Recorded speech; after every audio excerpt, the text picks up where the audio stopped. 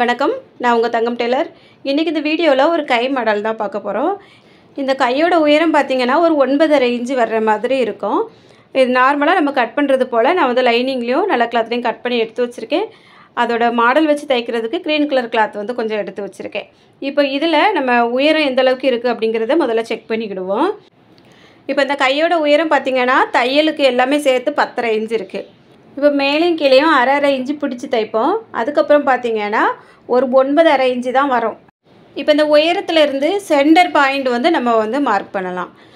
சென்டரில் வந்து நம்ம எந்த இடம் வருது அப்படிங்கிறத வ- பார்த்து வச்சுட்டு அதில் வந்து ஒரு மார்க் பண்ணியிருக்கேன் இப்போ அந்த மார்க்குக்கு மேலேயும் கீழேயும் ஒரு ஒன்றரை ஒன்றரை இன்ச்சு நான் வந்து மறுபடியும் மார்க் பண்ணிட போகிறேன் ஏன்னா நம்ம சென்டரில் வந்து கட் பண்ணி இதை எடுக்க போகிறோம் இது வந்து அளவுகள் வந்து மாறக்கூடாது அப்படிங்கிறதுக்காக இந்த மாதிரி மூணு புள்ளிகள் வந்து வச்சுருக்கேன்.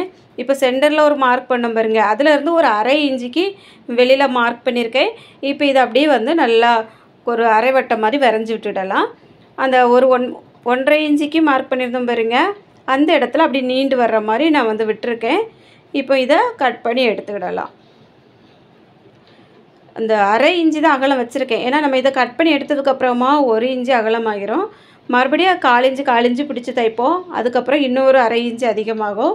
தச்சு நம்ம முடிச்சதுக்கப்புறம் பார்த்திங்கன்னா இனிமேல் அது கொஞ்சம் அகலமாக தான் தெரியும். அதனால் கொஞ்சம் ஒடுக்கமாக தான் எடுத்திருக்கேன். ரொம்ப பெருசாக எடுத்தோம் அப்படின்னா ரொம்ப நல்லா இருக்காது. ஏன்னா கை வந்து மொத்தமாக தெரிஞ்ச மாதிரி இருக்கும். அதனால் இந்த அளவு வந்து போதும் அப்படின்ட்டு எனக்கு தோணியிருக்கு. ஒருவேளை உங்களுக்கு கொஞ்சம் அகலமாக வேணும் அப்படின்னா இனிமேல் ஒரு கால் இன்ச்சு கூட அதிகமாக எடுத்துக்கிடுங்க. இப்போ நல்ல கிளாத்துக்கு மேலே அந்த லைனிங்கை வச்சு ரெண்டு பக்கமும் பின் போட்டு வச்சுருக்கேன். சென்டர் வந்து விலகி போகக்கூடாது அப்படிங்கிறதுக்காக.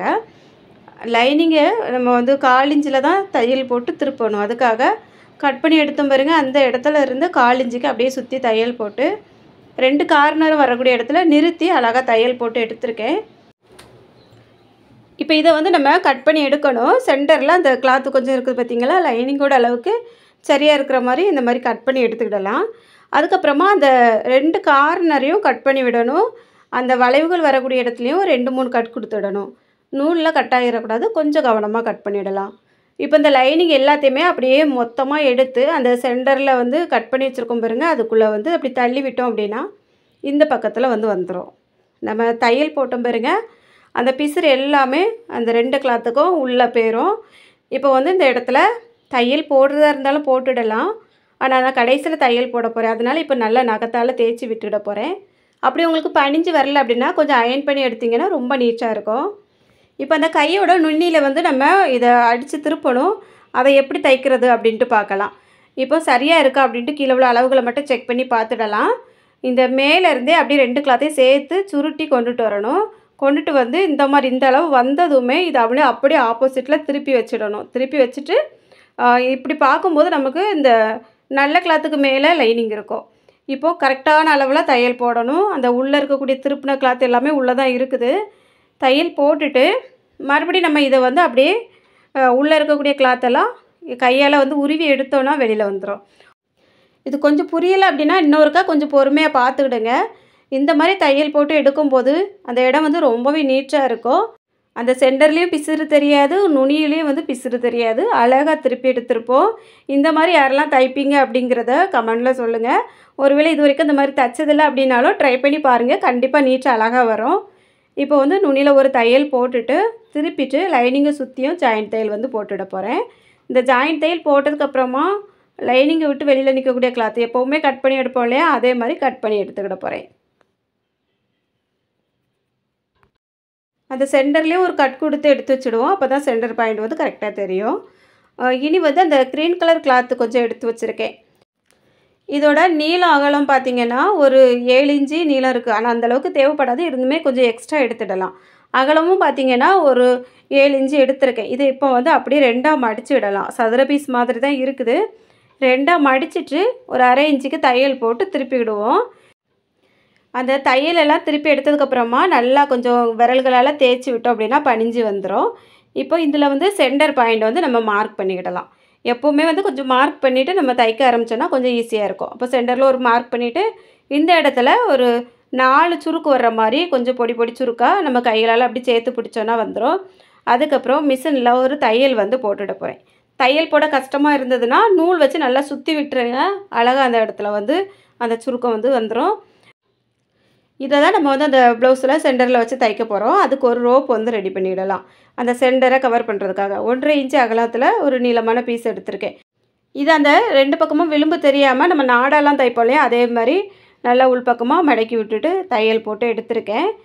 இதை வந்து இந்த சென்டரில் வச்சு தைக்க போகிறோம் இப்போ நம்ம ஏற்கனவே ஒரு தையல் போட்டு வச்சுருக்கோம் பாருங்கள் இதில் இந்த மாதிரி வச்சுட்டு நல்லா டைட்டாக பிடிச்சிடணும். இந்த சுருக்கம் வச்சுருக்கோம்ல அது நல்லா டைட்டாக பிடிச்சிட்டு இதை ரெண்டு பக்கமும் சேர்ந்து வர்ற மாதிரி அந்த ரோப்பு தைச்சம் பாருங்க அதை வந்து தையல் போட்டுடலாம். தையல் போட்டுட்டு அந்த எக்ஸ்ட்ரா நிற்கக்கூடியதெல்லாம் நீட்டாக கட் பண்ணி எடுத்து விட்டுருவோம். இப்போ அந்த தையல் வந்து நம்ம இந்த க்ரீன் கலர் கிளாத்துக்கு அடியில் வர மாதிரி பார்க்கணும். நல்ல பக்கத்துக்கு மேலே அந்த பிசுறு தெரியக்கூடாது. இந்த மாதிரி எடுத்து வச்சுட்டு இனி இதை வந்து ப்ளவுஸில் தைக்கணும்.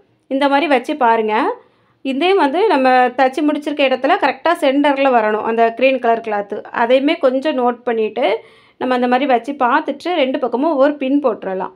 பின் போடும்போது அந்த கிளாத்து க்ரீன் கலர் கிளாத் வந்து ரொம்ப டைட்டாக பிடிச்சி போட்டுறாதீங்க. ஏன்னா நம்ம கையில் துணி வந்து போட்டதுக்கப்புறம் இந்த கட் பண்ணி விட்டுருக்கோம் அந்த இந்த இடம் வந்து கொஞ்சம் அகலமாக விரிஞ்சு வர்ற மாதிரி தான் வரும். அதனால கொஞ்சம் அந்த க்ரீன் கலர் கிளாத்தை லூஸ் விட்டுட்டு இந்த க்ரீன் கலர் கிளாத்தை வந்து நல்லா விரிச்சியும் விட்டுக்கிடணும். விட்டுட்டு நம்ம இப்படி ஒரு பின் போட்டு வச்சுட்டு அதுக்கப்புறமா தைக்க ஆரம்பிக்கலாம். அந்த சுருக்கம் இருக்குது பார்த்தீங்களா? அது வந்து கொஞ்சம் அப்படி விரிஞ்சு வரும்போது பார்க்குறதுக்கு ஒரு பட்டர்ஃப்ளை ஷேப்பில் சூப்பராக இருக்கும். ரெண்டு பக்கமும் ஒரே லெவலில் இருக்குதா அப்படின்ட்டு செக் பண்ணிவிட்டு விளிம்பில் சுற்றியும் ஒரு ஜாயிண்ட் தையல் வந்து போட்டு எடுத்துக்கிடலாம். இப்போ இதில் வந்து ஒரு தையல் தான் போட்டிருக்கேன். இன்னொரு தையல் ஒரு காலிஞ்ச அளவுக்கு போடணும்.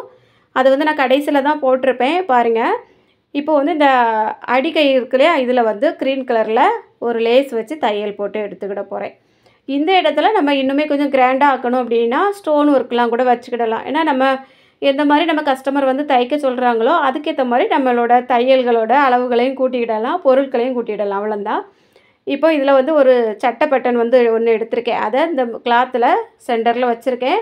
வச்சுட்டு நான் வந்து அந்த நூல் எடுத்திருக்கேன். ஊசியில் அதே கலருக்கு நூல் வந்து கொறுத்து எடுத்து வச்சுருக்கேன். இப்போ நூலை அப்படியே பிடிச்சிட்டு நல்லா டைட்டாக சுற்றி விட்டுறலாம். ஒரு அஞ்சாறு சுற்று சுற்றி விட்டுட்டு மறுபடியும் அந்த ஊசியாலேயே அந்த பட்டனுக்கு அடிப்பக்கத்தில் இருக்க கிளாத்துலலாம் நல்லா சுற்றி சுற்றி தையல் போட்டு எடுக்கணும்.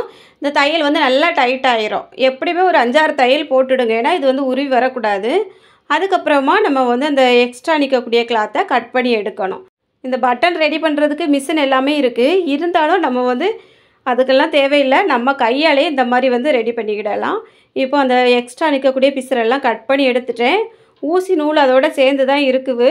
இப்போ இந்த பட்டனை இந்த க்ரீன் கலர் கிளாத்தில் சென்டரில் அப்படியே வச்சுட்டு அந்த ஊசியை வச்சு நல்லா தச்சு விட்டுக்கிட போகிறேன் இப்போ நம்ம அந்த க்ரீன் கலர் கிளாத்துலேயும் தையல் போடணும். அதே தையல் வந்து அந்த பட்டனில் இருக்குல்லையே அந்த கிளாத்துலேயும் சேர்த்து வர்ற மாதிரி பார்க்கணும். மேலே வந்து தையல் வரையில். அந்த ரவுண்டாக சுற்றி வரக்கூடிய இடங்களில் சுற்றி சுற்றி ஒரு அஞ்சாறு தையல் போட்டிருக்கேன். தையல் வந்து வெளியில் சுத்தமாக தெரியாது. இந்த மாதிரி க்ரீன் கலர் கிளாத்துலேயும் அந்த பட்டன்லேயும் சேர்த்து தையல் போட்டு எடுத்துட்டு மறுபடியும் அடிப்பக்கமாக விட்டு அந்த ஊசியை விட்டுட்டு கீழே வந்து நல்லா ஒரு ரெண்டு லாக் தையல் போட்டு கட் பண்ணி எடுத்துட வேண்டியதுதான். பிசுறு இல்லாமல் கொஞ்சம் நம்ம வந்து நீட்டாக எடுத்து வச்சுட்டணும். ஏன்னா இந்த மாதிரி நுணுக்கமான வேலைகள் வந்து எங்கேயுமே நூல் தெரிஞ்சது அப்படின்னா கொஞ்சம் அசிங்கமாக இருக்கும். அதனால ரொம்ப கவனமாக எடுத்து வச்சிடலாம்.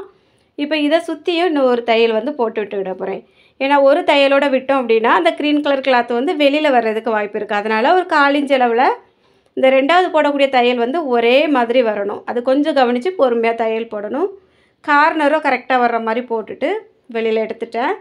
இப்போ வந்து அப்படியே திருப்பிட்டு அந்த க்ரீன் கலர் கிளாத்து வந்து கொஞ்சம் அதிகமாகவே வெளியில் நிற்குது பாருங்கள் இதெல்லாம் கட் பண்ணி எடுத்து வச்சுக்கிட போகிறேன் அவ்வளோதான் மாடல் வந்து ரெடி ஆகிட்டு எப்படி இருக்கும் அப்படிங்கிறத மறக்காமல் கமெண்டில் சொல்லிவிட்டு வீடியோ பிடிச்சிருந்தா ஒரு லைக்கும் கொடுத்துருங்க.